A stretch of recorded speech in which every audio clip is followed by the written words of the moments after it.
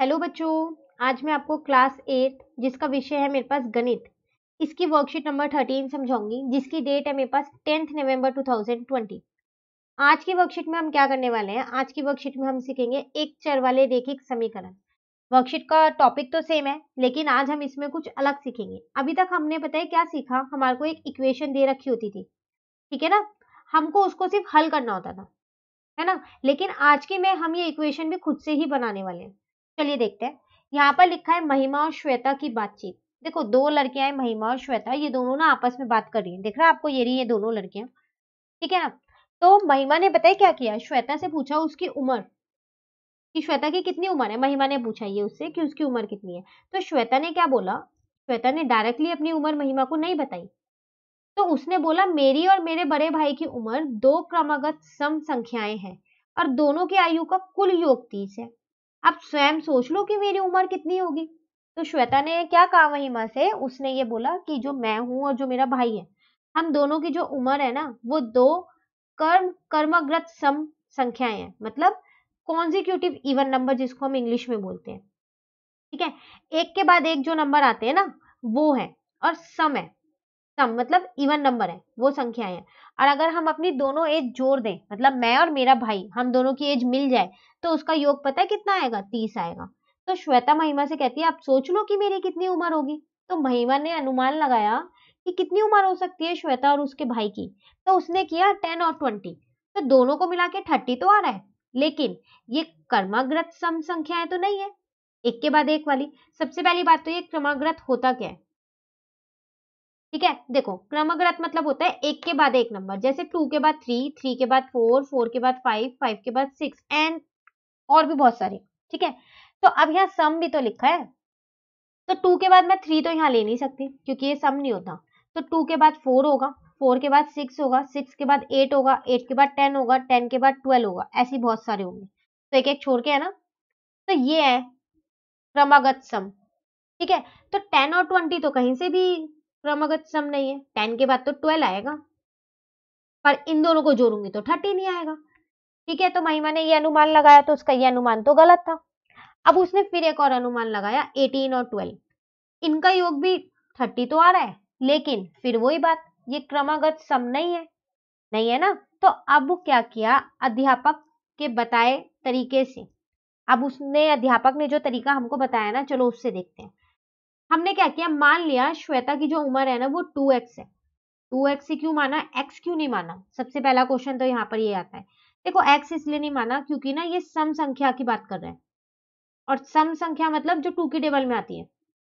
है ना? इसलिए हमने टू एक्स माना है। ठीक है, लिखा है श्वेता की उम्र एक सम संख्या है। ठीक है? तो फिर बड़े भाई की कितनी होगी उसके? लिखा था ना बड़ा भाई है। तो बड़े भाई की उम्र कितनी होगी? टू एक्स प्लस टू क्यों भाई? टू क्यों प्लस किया? तो देखो ना टू के बाद फोर है, फोर के बाद सिक्स है। तो टू में टू प्लस करोगे तभी तो फोर आएगा। फोर में टू प्लस करोगे तभी तो सिक्स आएगा। और सिक्स में टू प्लस करोगे तभी तो एट आएगा। फिर उसी तरीके से क्रमागत सम संख्या कैसे आएगी? इसमें मैं टू प्लस कर दूँगी, है ना? अब वो कह रहा है इन दोनों का जो योग होगा, इनकी जो उम्र है, उसका योग है तीस। तो इन दोनों को जोड़ा तो फोर एक्स आ गया। ठीक है ना? अब ये टू प्लस का उधर ले जाते हो इसको, ये माइनस का हो जाएगा। ठीक है? Four X is equal to twenty eight. अब मुझे तो एक्स का मान चाहिए। तो फोर यहाँ मल्टीप्लाई कर तो इधर आके डिवाइड का हो जाएगा। होगा नहीं होगा? तो ये आ गया मेरा सेवन ठीक है? तो ये आ गया मेरा यहाँ पर कितना आ गया? सेवन तो श्वेता की उम्र थी कितनी? Two X. तो टू इंटू सेवन फोर्टीन तो इसका मतलब श्वेता कितने साल की है? फोर्टीन ईयर्स की है। ठीक है? अब मैं अगर आपसे पूछूँ, उसका भाई कितने साल का है? तो आप क्या करने वाले हो? टू एक्स प्लस टू इसका मतलब फोर्टीन प्लस टू तो उसका भाई सोलह साल का है। और देखो, क्रमागत संख्या है ना ये? है ना? तो आपका यहाँ से आंसर आ गया। इसका मतलब जो महिमा ने अनुमान लगाया था ना, वो गलत था। ठीक है? तो अब यहाँ पर उसने ऐसे किया। ठीक है ना? जो अध्यापक ने तरीका बताया, अध्यापिका ने। चलो, आगे देखते हैं। अब आपको एक उदाहरण दे रखा है। ठीक है? उसका हल भी है और दो प्रश्न है जो हमें खुद से करने हैं। चलो, देखते हैं। कह रहा है, प्रवीण के पास गुल्लक में एक सौ अस्सी रुपए हैं। उसने दक्ष से कहा कि इस गुल्लक में सिर्फ़ दो रुपए और पाँच रुपए के सिक्के हैं और दो रुपए के सिक्कों की संख्या, पाँच रुपए के सिक्कों की संख्या का दुगुना है। बताओ, मेरी गुल्लक में दो रुपए और पाँच रुपए के कितने सिक्के हैं? देखो, एक लड़का है प्रवीण, ठीक है, उसके पास में एक गुल्लक है, पिगी बैंक, आप सब जानते होंगे ना पिगी बैंक, कुछ बच्चे पिगी बैंक के नाम से जानते होंगे और कुछ बच्चे गुल्लक के नाम से जानते होंगे। और शायद बचपन में हम सब लोग के पास ये गुल्लक होती है। होती है, नहीं होती? मेरे पास भी थी, मेरे पास तो अभी तक है वैसे, ठीक है? तो सबके पास होते है ना गुल्लक तो सब अपनी सेविंग्स करते हैं। तो ऐसे ही प्रवीण ने कुछ सेविंग्स की है तो उसने वन एटी रुपीज़ की सेविंग्स की है अभी तक। वन एटी रुपीज़ है उसके पिगी बैंक में, गुल्लक में, ठीक है? उसने दक्ष को बोला, दक्ष उसका फ्रेंड भी हो सकता है और भाई भी हो सकता है, कोई भी हो सकता है। कहा कि मेरी गुल्लक में ना सिर्फ़ दो रुपए के सिक्के और पाँच रुपए के सिक्के हैं। मतलब दो ही तरीके के पैसे हैं इसके अंदर, दो या पाँच के। और जो दो रुपए के सिक्के हैं ना वो दुगने हैं जितने भी पाँच रुपए के सिक्के हैं। ठीक है ना? जैसे दो रुपए के सिक्के हैं और पाँच रुपए के तो अगर पाँच रुपए के दस सिक्के हैं तो फिर दो रुपए के कितने होंगे? बीस सिक्के होंगे। हो गए ना दुगना? अब अगर मैं कहूँ पाँच रुपए के पंद्रह सिक्के हैं तो फिर दो रुपए के कितने होंगे? दो को पंद्रह से करो इंटू तीस होंगे। तो अगर अब मैं आपसे कहूँ दो पाँच रुपए के सिक्के ऐसे है फिर दो रुपए के कितने होंगे? तो टू इंटू एस तो टू एस होंगे। है ना? वही चीज़ हमने लिख दी यहाँ। माना गुल्लक में पाँच रुपए की सिक्कों की संख्या कितनी है? पाँच के सिक्के हैं एस तो फिर दो के सिक्के कितने होंगे? टू एस अब जब आप इन्हें जोड़ोगे दोनों को तो कितना आना चाहिए? वन एटी इसका मतलब पाँच रुपए के सिक्के तो है एस और दो रुपए वाले सिक्के हैं टू एस और टोटल मिला के कितने पैसे हैं? वन एटी तो ये हो गया मेरा five S plus four S is equal to one eighty तो यहाँ पर आ गया मेरा nine S is equal to one eighty तो एस का मान कितना आ गया? ये मल्टीप्लाई का तो दूसरी साइड पे जाके डिवाइड का हो जाएगा? पता है ना साइन चेंज हो जाएँगे। एस इसका मतलब अगर पाँच रुपए के सिक्के कितने हैं? बीस है। फिर दो रुपए के कितने होंगे? दो से ही तो गुना करना है। तो चालीस। तो लो, आपका आंसर आ गया। यही आपको निकालना था। ठीक है ना? चलिए। आगे देखते हैं। अब जो प्रश्न हमें खुद से करने वो देखते हैं। कह रहा है, वीना ने एक वस्तुनिष्ठ परीक्षा दी जिसमें कुल पचास प्रश्न थे। सही जवाब देने पर चार अंक मिले तथा गलत जवाब देने पर एक अंक काट, काटा गया। यदि वीना ने सभी प्रश्नों का जवाब दिया हो और उसके कुल अस्सी अंक आए हो तो उन कुल तो उसने कुल कितने प्रश्नों का जवाब सही दिया और कितनों का गलत दिया? देखो, एक लड़की है, उसने क्या किया? एक परीक्षा दी। होता है ना वो एमसीक्यू वाले क्वेश्चन जिसमें हम टिक लगाते हैं ऑब्जेक्टिव टाइप जिसे बोलते हैं। पचास क्वेश्चन थे उसके अंदर, ठीक है? अब हुआ क्या? जो ये पचास क्वेश्चन है ना फिफ्टी क्वेश्चन जो है, इसमें अगर आप सही आंसर दोगे तो आपको फोर मार्क्स मिलेंगे। चार अंक। लेकिन अगर आप गलत आंसर दोगे ना तो आपका एक नंबर कट जाएगा। वैसे आपके एग्ज़ाम में तो ऐसा नहीं होता ना, अगर आपने सही आंसर दिए तो नंबर मिलते हैं, लेकिन गलत आंसर दिए तो नंबर नहीं कटते, है ना? तो वो अभी छोटी क्लासेस में ऐसा नहीं होता। जब हम आगे जाएँगे तो हमारे साथ भी ऐसे ही होगा कि जब हम एग्ज़ाम देंगे, आप लोग दोगे एग्ज़ाम तो गलत नंबर के भी, गलत अगर आप आंसर दे के आते हो तो नंबर कटते हैं उसके भी। वही सेम वीना के साथ हो रहा है। ठीक है? अब उसने बताया क्या क्या है? फिफ्टी के फिफ्टी क्वेश्चन का आंसर तो दिया है, लेकिन उसके मार्क्स कितने आए हैं? कुल अस्सी नंबर उसके आए हैं। अब आपको ये बताना है, उसने कितने जवाब सही दिए और कितने जवाब गलत दिए ठीक है? तो चलो यहाँ पर ना आपको थोड़ा सा हल दे रखा है, बाकी का हमें निकालना है, ठीक है? माना सही जवाबों की संख्या कितनी है? जे तो फिर गलत जवाब कितने होंगे? जब सही जे है तो इन पचास प्रश्नों में से मैं सही वाले हटा देती हूँ।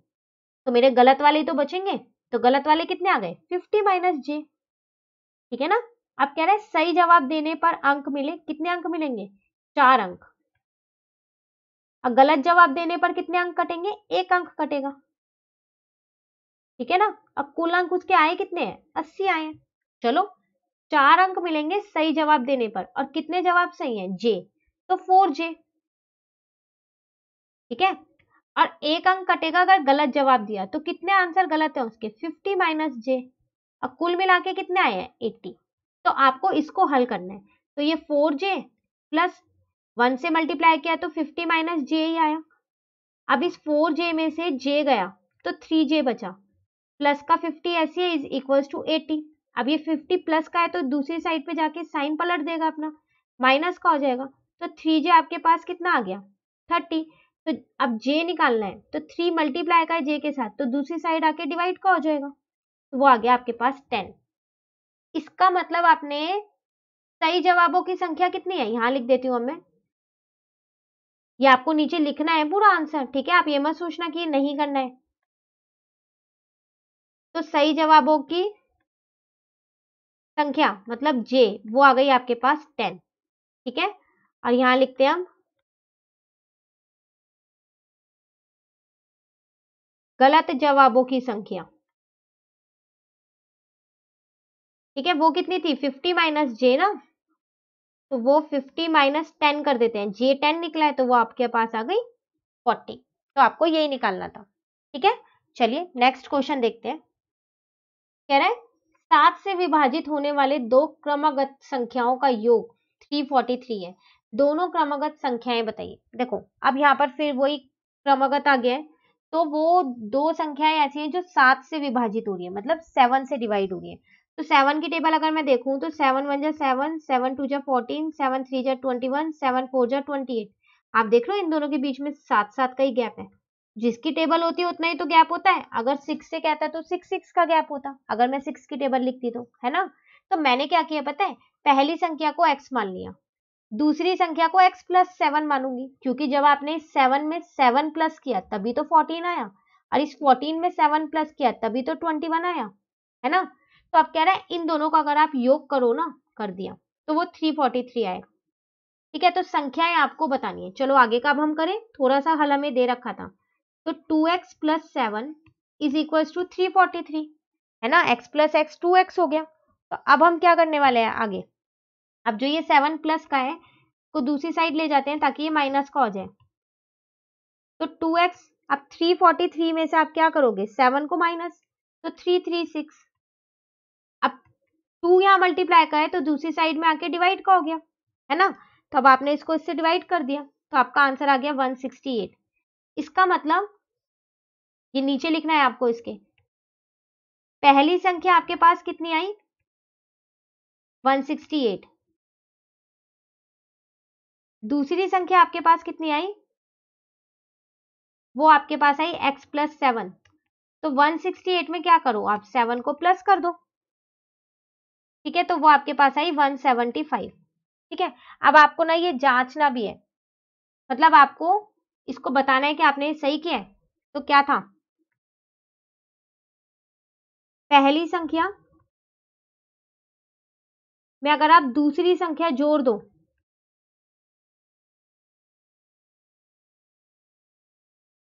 ठीक है ना? तो आपका कितना आएगा? थ्री फोर्टी थ्री आएगा। चलो पहली संख्या है वन सिक्सटी एट दूसरी संख्या है वन सेवेंटी फाइव एक बार आप जोड़ के देखना, आपका थ्री फोर्टी थ्री आ रहा है? बिल्कुल आ रहा है थ्री फोर्टी थ्री इसका मतलब जो हमने निकाला है, वो आंसर हमारा क्या है? बिल्कुल सही है। ठीक है? तो ये था हमारे पास प्रश्न दो और इसी के साथ हमारी वर्कशीट खत्म होती है। अब जो वर्कशीट नंबर फोर्टीन है, वो हम अपनी नेक्स्ट वीडियो में करेंगे। तो अगर आपको ये वीडियो अच्छी लगी तो आप इसे लाइक ज़रूर कीजिएगा और मेरे चैनल को सब्सक्राइब कीजिएगा। Thank you